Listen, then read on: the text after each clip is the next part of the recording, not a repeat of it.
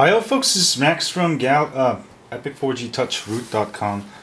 Um, so I've got the Midnight ROM here. Um, this is comes with the uh, Zedomax uh, Epic Touch kernel v3.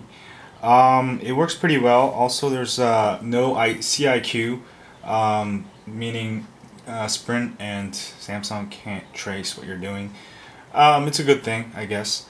Um, basically, I got it set to 1.504. Uh, let's do some tests real quick, as always. Uh -huh.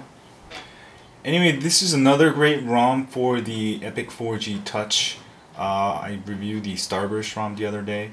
Um, they are slightly different. This one has a slightly different um, launcher. And let's see how we do on our test. Um, but it's running super fast. Both ROMs are very good. Uh, I'm to actually use this um, for a couple days now. Hopefully.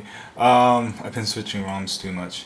And also I'm working on, uh, we'll be having, this is to be uh, crazy ROM week. I'm to be reviewing ROMs for all kinds of different phones. So don't forget to leave your comments below.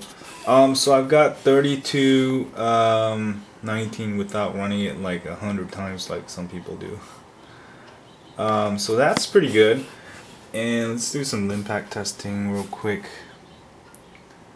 Doo -doo -doo.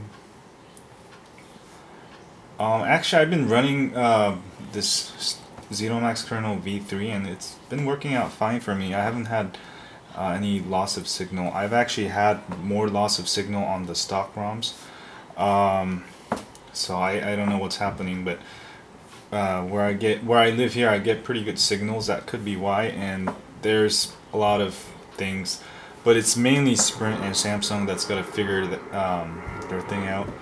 Um, but also, I'm, I'm, working on V4 or V5, and uh, I got it almost working. I'm trying to make a kernel with more overclocking. Um, this ROM is pretty cool. It's very smooth. You have to actually flash two files um, because the second file will fix the, the it'll add the CIQ and also uh, it'll add, fix the uh, browsing bug. Um, so flash vote both files in Clockwork Mod Recovery. And uh, this is another great ROM. Try it out. Let me know what you think. Um, it's very, very similar to the Starburst ROM. Uh, slightly different, uh, slightly different taste. But I like this ROM too. So check it out. Um, and see y'all later. Thanks.